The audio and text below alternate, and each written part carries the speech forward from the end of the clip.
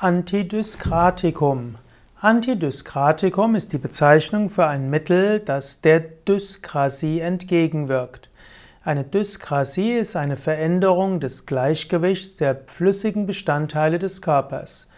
Eine Dyskrasie wird insbesondere in der Vier-Säfte-Lehre bezeichnet, eine Veränderung des Gleichgewichts der Kardinalflüssigkeiten, also Blut, Schleim, gelbe und schwarze Galle.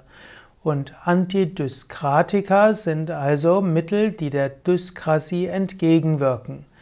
Die Antidyskratika sollen also auf verschiedene Weise eine Normalisierung des Stoffwechselgeschehens bewirken.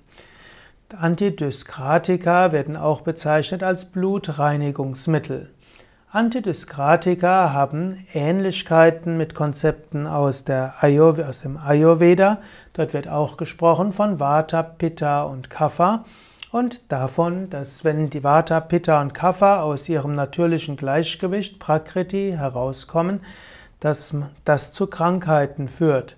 Und so wurde in der Vier-Säfte-Lehre, in diesem Aspekt der Medizin, viele Krankheiten auf das Durcheinanderkommen der vier Säfte, also die Dyskrasie, geschoben und dann wurden verschiedene Methoden entwickelt, um die Dyskrasie zu beheben. So ähnlich gibt es auch im Ayurveda zum Beispiel Rasayana oder Panchakarma oder auch kleine Ama-Kur, die hilft, dass die Doshas wieder in ihr natürliches Gleichgewicht in Prakriti hineinkommen. Und man kann auch im Ayurveda verschiedene Mittel nutzen, um einem Ungleichgewicht entgegenzuwirken. In der Naturheilkunde gibt es verschiedene Antidyskratika. Dort gibt es insbesondere sogenannte Phytotherapeutika, das heißt also Pflanzenstoffe.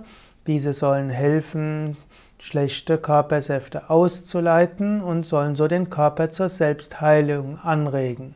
Dazu gehört insbesondere in der traditionellen Phytotherapie, Pflanzenheilkunde Löwenzahn, dann auch Brennnessel und dann auch zusätzlich noch äh, Radik.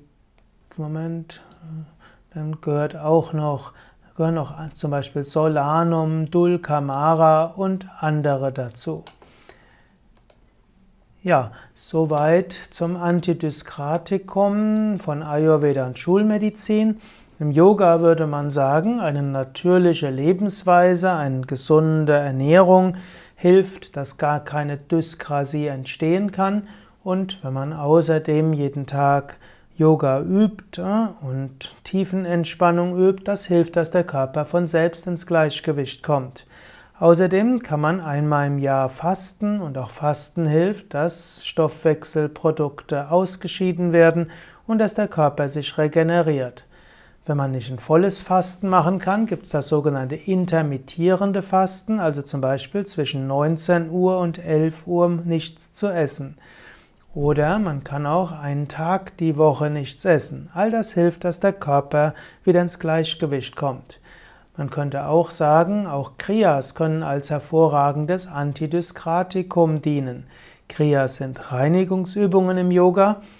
Gibt, geht es von Kapalabhati, Schnellatmung, über Bauchbewegung, Agnisara, bis zu letztlich auch Einlauf, Basti und weitergehende Techniken wie zum Beispiel wie zum Beispiel Shank Prakshalana, hm, welches eine Art äh, Salzreinigung des ganzen Organismus ist, eine Menge von Methoden, letztlich alles auszuschwemmen aus dem Körper, was dem Körper nicht zuträglich ist.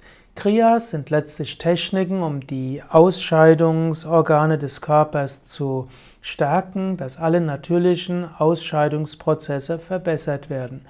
Und wenn der Körper so besser seine Stoffwechselprodukte loswerden kann, dann stellt sich ein Gleichgewicht von selbst ein.